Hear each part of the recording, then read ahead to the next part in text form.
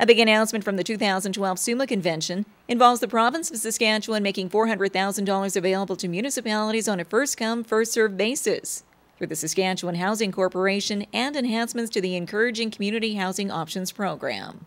We know that the municipalities are a huge part of our opportunity to increase the housing supply in the province, and we also know that there has to be planning, long range planning to identify the needs and, and the type of housing that there's going to be in a community.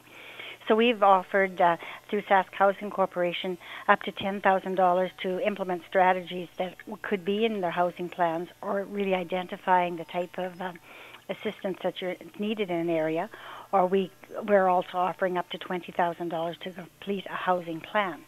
So this gives municipalities some options so that they can uh, look at their unique needs and plan for the future. The Enhance program comes as welcome news for many communities here in the Southwest who are faced with a growing demand for housing through economic startups in the region to individuals choosing to settle down in small town Saskatchewan. I guess in terms of Shaunavon right now, we need um, we need new uh, affordable housing or new housing uh, because we've got people that are are uh, making decisions on whether they live in Shaunavon or live back in Alberta or wherever uh, with the oil industry, uh, um, and it's it's based on the fact that we don't have new housing here. So for us, we have to get. Um, uh, get this new subdivision up and and uh, new housing built, and uh, that will provide some relief. We are definitely going to look into it. There's no doubt about that. I mean, we because we do have a problem here, as you know, uh, with no rentals.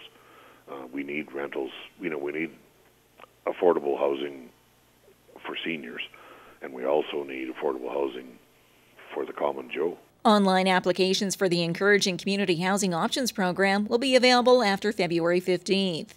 Further details are available by calling the Saskatchewan Housing Corporation.